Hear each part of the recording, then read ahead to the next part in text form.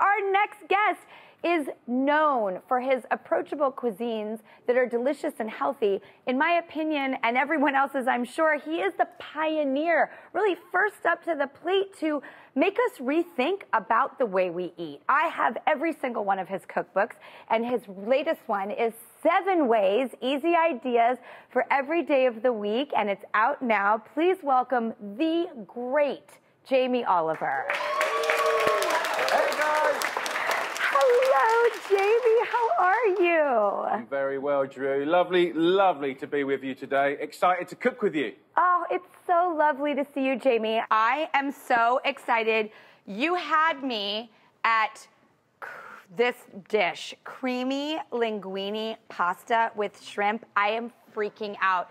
Uh, creamy pasta is my number one favorite food on the planet. It just is. And the great thing about this dish is super quick cooking. It's really delicious. It feels like something exciting and not boring. So I hope you're going to love it today. Are you ready to cook, my darling girl? Are you- Four and a half minutes, Jamie? That's Yeah. insane. Absolutely. So all you need is to get a pan of boiling water. Um, I've got a pan, large pan on a kind of medium-high heat. Um, if we just look in front of us now, Drew, we got the lovely linguine. We're using fresh today, which is super quick to cook, but you can use dried or any other pasta, no trouble at all. Uh, we're going to use a couple of little curveball ingredients in this. We're going to use a little red wine, which, you know, we always love a bit of red wine, right? Cheers. Uh, and uh, we're going to have a little bit of surf and turf going on. So we've got smoky pancetta or smoky bacon. So uh, how's, your, how's your knife skills, Drew? So I'm going to put the bacon in the pan. We want to get that nice and light golden. We want to get that smokiness coming out. Just a little bit of olive oil in the pan. Beautiful. That was going to be my next question was, do we need any oil with the fat of the pancetta? Just a little bit. Yeah. And then we can have shrimp time.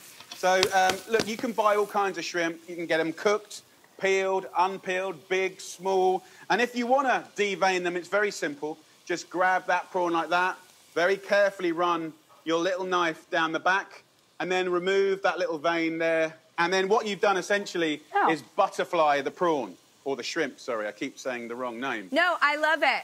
I like when you say prawns. Keep it coming. Um, we're going to slice some garlic, couple of cloves of garlic. We're just going to finely slice. So you can just run your knife through that. Um, I've got some boiling water. So this, this fresh pasta only takes couple of minutes. So we don't need to rush that at all. If your pan's looking nice and sizzly, uh, we can put a couple of your big shrimp in the pan now, like this. And then also I'm going to just put my knife through some of the shrimp and chop it up a bit. Okay. So it sticks to the pasta really nice. And then we're going to introduce um, some red wine. Now, normally when you cook seafood, everyone's always talking about white wine or rosé, but red wine is really good in this dish. A little swig of nice Italian red wine into the pan, and that will sizzle up and that will boil. And then as that wine cooks away, Drew, just go in with a nice heaped teaspoon of this beautiful mascarpone cream there. You can use single cream, whipping cream, but this mascarpone is delicious. Love mascarpone. So listen, you lovely girl. Um, rocket, or arugula, as you call it in the States, um, that is a herb, and we're going to use it as a herb today. So we're going to chop up, roughly chop, the beautiful rocket. We're going to now, in your pan, if you have a look at, little look at mine, you can see that that cream has almost cooked away, and the Yeah. wine as well. Nope, Jamie, gonna- mine looks nothing like that. Just so you know, I'm really okay. sorry. No, no, th- this is a very generous, lenient dish, so don't you worry. But what's going to happen is as soon as I take some of this linguine, that water is the secret ingredient, right? That's starchy water. So that's going to bring that sauce back. And what we want to achieve is a silky sauce. And don't be afraid to keep adding a little bit of water, just a little bit, to make it elegant and saucy. So at this stage, Mr. Cameraman, please come in. But see Also, this, look, look at that lovely texture. Does not look anything like yours. Mine looks all one color, which is not, it can't be right. I promise you, you will not regret this. Now, my, if my cameraman can get in for a close up, that is our beautiful dish, finished, plated up, a little bit of olive oil just to kiss around the outside. Hallelujah.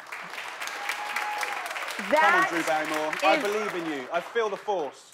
You, I'm, I'm gonna need it, and I'm actually, I'm not gonna lie, I'm turning to Lauren's pasta because it's much better than mine.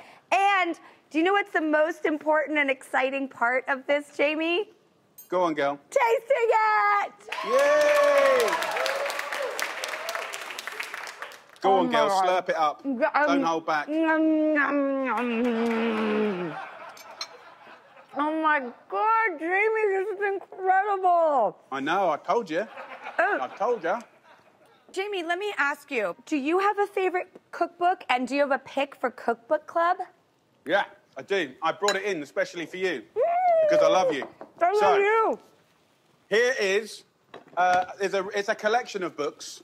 There was 20 of them. Uh, it's called In Bocca, which means in the mouth. And there's some really old recipes, some bonkers recipes, and some classic recipes. Um, but they're really hard to find. So there you go. That's my favorite little cookbook. Jamie, thank you so much. I'm so excited to put it on my wall. It will be facing out. It will be loved, poured through. Thank you very much for having me on the show. I loved it. I love cooking with you, and keep up all the great work. Oh, thank you, Jamie Oliver. And look, I'm going to put this in my mouth, just like the cookbook suggests. Go to the DrewBarrymoreShow.com for the full recipe.